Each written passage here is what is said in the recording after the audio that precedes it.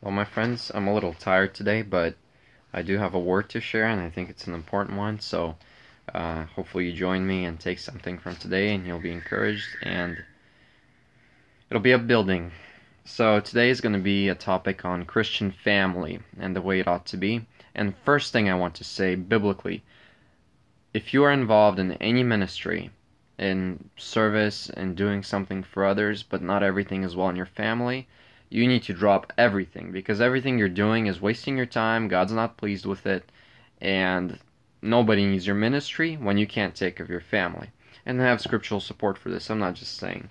So let's open up First Timothy and read it together and discuss what we read. So First Timothy, open it up with me so you can follow along. Make sure I'm not misreading or misquoting anything. Chapter 3.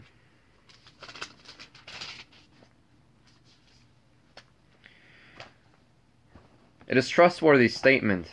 If any man aspires to the office of an overseer, it is fine work he desires to do. An overseer is somebody who overlooks other people and makes sure makes sure they're doing everything right. So an overseer, in a way, it's like a pastor of a shepherd, uh, a shepherd of sheep. You know, he overlooks and makes sure everybody's doing their thing correctly because he wants them to live a happy, fulfilling life, abundant life that Jesus offered. And so somebody who wants to be in that position to be able to tell people how to act and what to do and help them spiritually, these are the qualifications. And then we're going to go into, you know, what I said in the beginning. An overseer then must be above reproach. It means nobody can say anything about bad about him because he lives above all that. The husband of one wife, so you know, not sleeping around and not seeing anybody on the side and I'm assuming not divorced and remarried, uh, but that's my assumption. Temperate, which means um, has a good attitude, you know, not easily angered. Prudent, or, um, well, I think you understand these words. Respectable, hospitable, means invites people over, always happy to see new faces at his house able to teach.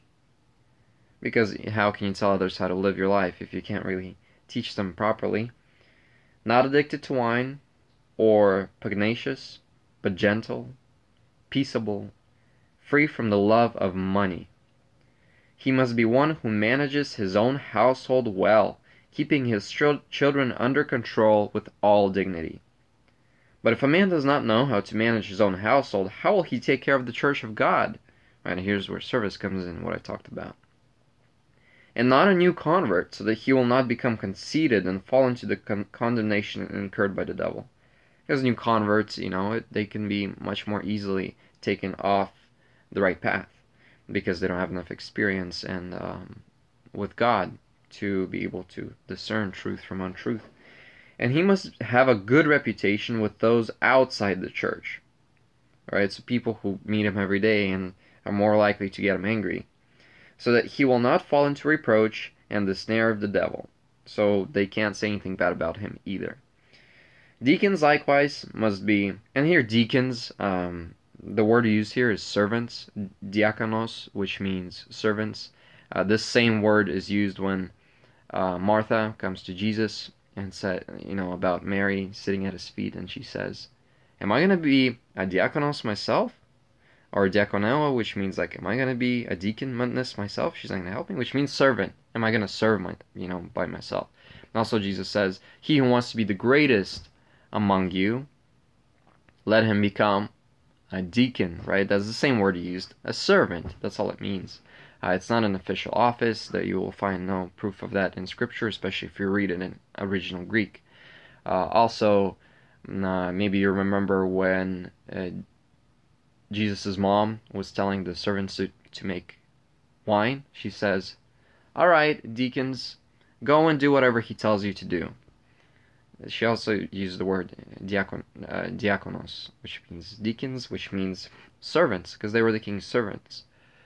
Also, when Jesus is saying the parable of the king, when he says to his servants, Go take this man, bind his feet, and throw them into the outer darkness where there will be gnashing of teeth.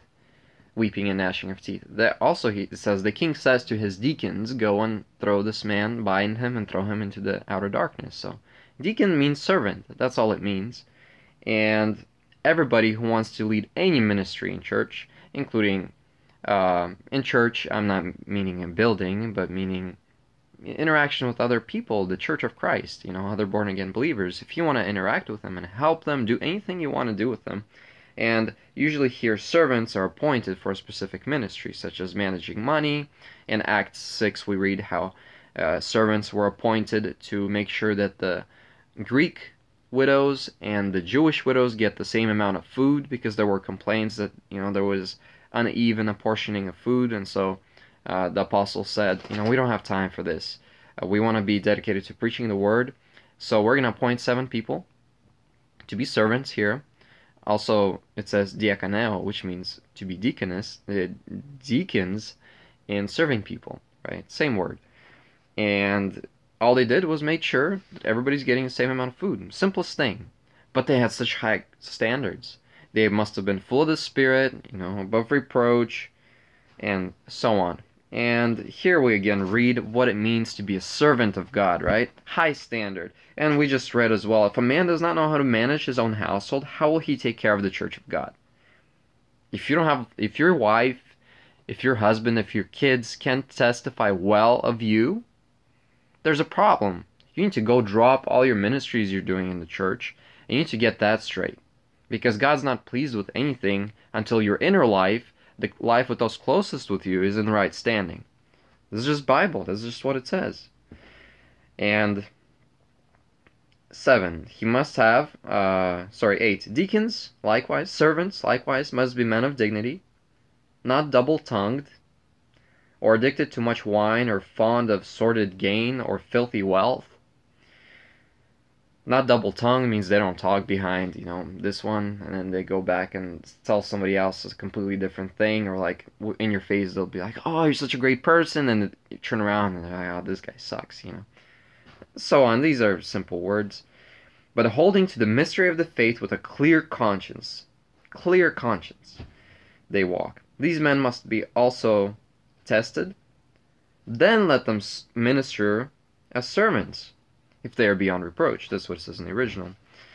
Uh, women must also be dignified, not malicious gossips, but temperate, faithful in all things. Servants must be husbands of only one wife, and good managers of their children and their own households or their own families. Again, servants must be husbands of only one wife, and good managers of their children and their own families. That's what it says. For those who have served well as servants, as servants in, in, in, services, obtain for themselves a high standing and great confidence in the faith that is in Christ Jesus. I am writing these things to you, hoping to come to you before long, but in case I am delayed, I write so that you will know how one ought to conduct himself in the family of God, which is the church of the living God, the pillar and support of the truth. By common confession, great is the mystery of godliness. He who was revealed in the flesh was vindicated in the spirit, seen by angels, proclaimed among the, the nations, believed on in the world, taken up in glory. So here he says, you know, I'm telling you this about Jesus Christ. That's what we're representing, the truth.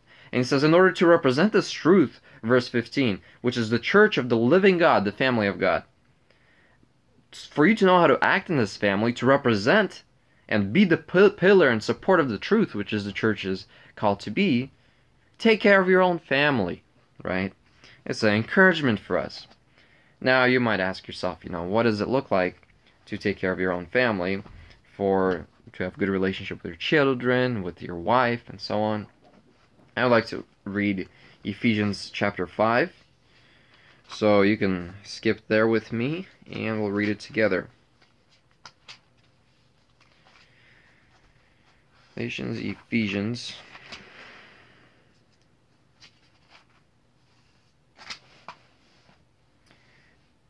Ephesians chapter 5, verse 18. We'll start there. 5, verse 18. And do not get drunk with wine, wine, for that is dissipation, or do not get drunk with wine in excess. Be filled with the Spirit, but be filled with the Spirit, speaking to one another in psalms and hymns and spiritual songs, singing, excuse me, and making melody with your heart to the Lord, always giving thanks for all things in the name of our Lord Jesus Christ to God, even the Father. And be subject one to another in the fear of Christ. Wives, to your own husbands as to the Lord, for the husband is the head of the wife, as Christ also is the head of the church he himself being the savior of the body, and the body being us believers. But as the church is subject to Christ, so also the wives ought, ought to be subject to their husbands in everything.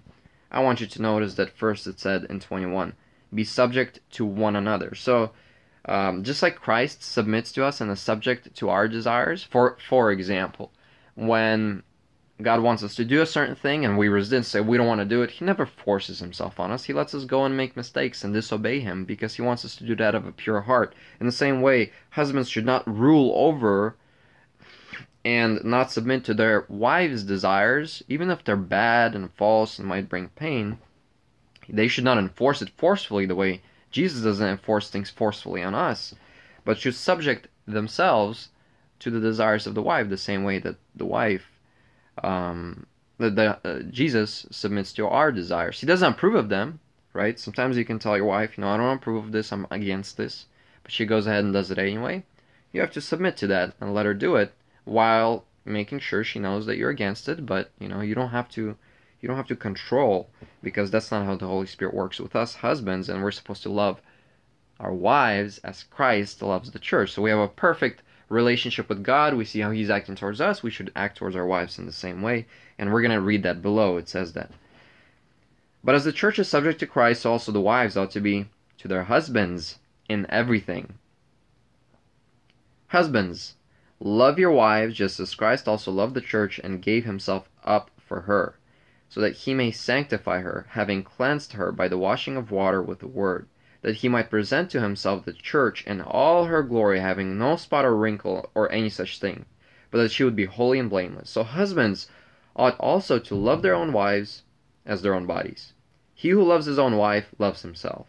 For no one ever hated his own flesh, but nourishes and cherishes it, just as Christ also the church, because we are members of his body. Alright, so I'm going to read again. Um, and I want you to pay attention Wives, listen to what's written to you specifically. Husbands, listen to what's written to you specifically. Don't think about each other right now. And I'm starting with husbands and wives because that's the foundation of the family. Then we will talk about kids and parents and other things. Wives, uh, okay, be full of the Holy Spirit, not being drunk with wine. Be subject to one another in the fear of Christ. Wives, to your own husbands as to the Lord. Or it says submitting to one another in the fear of Christ. So here, wives, in the original, in the Greek, it doesn't say be subject. There's, or submit. That word is gone. It just says, wives, to your own husbands as to the Lord. And a good argument, very good argument, could be made that wives, it's not referring to submit, it's referring to be full of the Holy Spirit. So, wives, be full of the Holy Spirit to your own husbands as to the Lord, because that's where the sentence starts in verse um, 7, 18. He says, But be filled with the Spirit.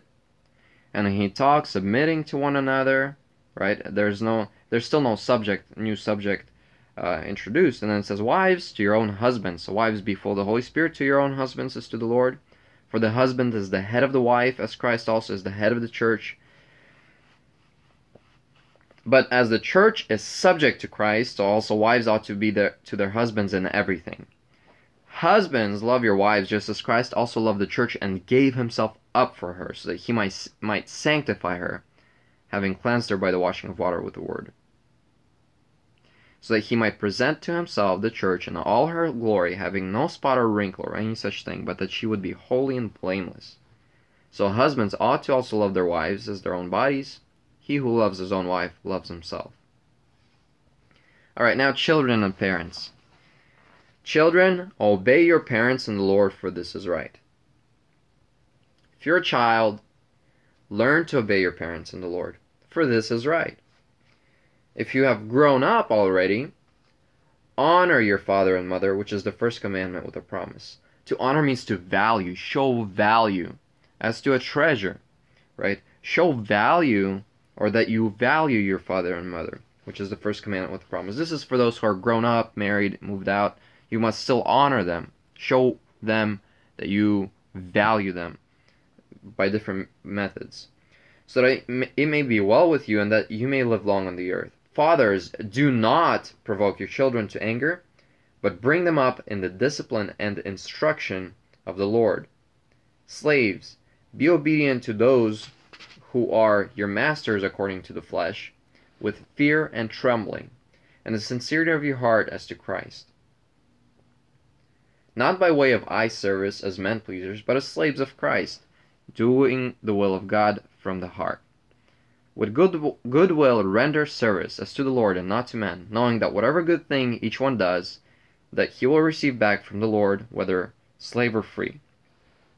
And masters do the same things to them, and give them give up threatening, knowing that both their master and yours is in heaven, and there is no partiality with him, with God. Straightforward. One more thing. If you want to minister in the church, if you want to be a, a servant in the church of God, just to serve somewhere, I want to finish reading Timothy.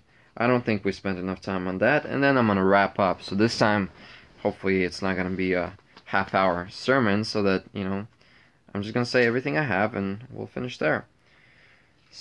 First Timothy chapter 3.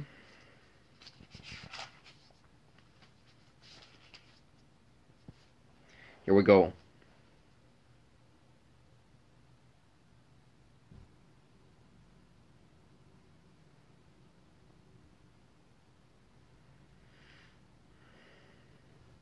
Okay, I'm not seeing... Actually, we did spend enough time on this. Um, but all, you know, where it lists what, where it was listing.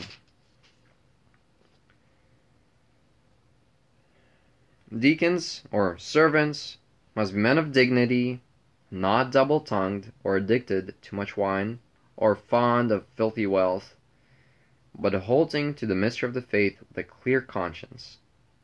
These men must also first be tested, then let them minister as servants, if they are beyond reproach.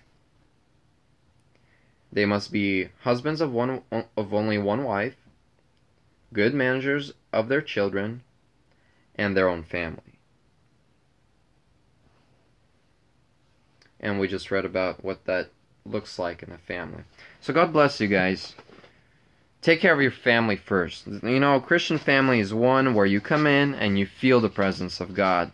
You feel love between each other. You feel that there's understanding, there's value. You know, we have differences. We have different mm-hmm. personalities. We have um, misunderstandings. We have different views on things. But above all these should be love. Your theology should never be higher than your love. Your dissension and doctrine should never be higher than your love. You know what the church is built on? Only two things the confession that Jesus is the Christ, Messiah, Savior, and the Son of God. That's it. When Peter said, You are the Christ, the Son of God, Jesus said, Upon this stone I will build my church. Upon this confession. Jesus is the Christ, Messiah, Savior, and he is the Son of God. Upon these, the church will be built. That's it. So, if you have this common base, that means you have the same master in heaven. And if you have the same master in heaven, your family ought to function in love. The fullness of the Spirit, love, joy, peace, patience, goodness. You know, all these great things written in Galatians. So God bless you. May you be filled, may you be encouraged, and have a blessed rest of your day, evening, whatever it is, and life. Live this out. And once your household, once your family is in the right place, then think about serving others with your family involved because you'll be above reproach. Nobody can say a bad thing about you from your own family, and they're going to support you. They're going to say, you know, we're having a great time here. We love you being part of our family, and we encourage you to go and, you know, spread this love to others and let's do it together and you'll be a small home church and when you have a small home church and this is all in the right place you can expand the kingdom of God because you have the kingdom of God in your house. But if you don't have the kingdom of God in your house, you have problems in the house, you have problems in the family. Until these are resolved as far as it is possible from your side, especially if the, the people there are Christians, then don't even think about going somewhere and building God's kingdom because that's the first step. And again, I said as far as possible from your side because Jesus did bring a sword. And people who live after the flesh, after sin, follow the master of this world, they will disagree with you. They will hate you. And for this reason, you know, do everything possible from your side. And because they're disobe- disobeying God or something else, if they're rejecting you, you know, you can come to God with a clear conscience say, Lord, I really want this resolved.